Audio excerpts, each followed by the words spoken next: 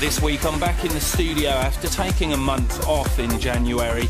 I'm working on tracks for the forthcoming Nocturnal album, which will be released in April this year.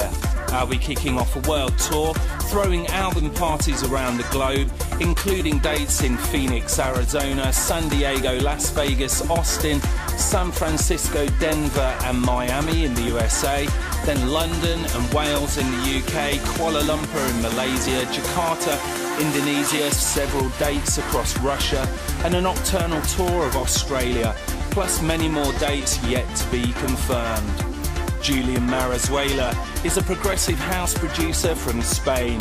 This is his latest release, Metropolis, with Steve Haines on the remix.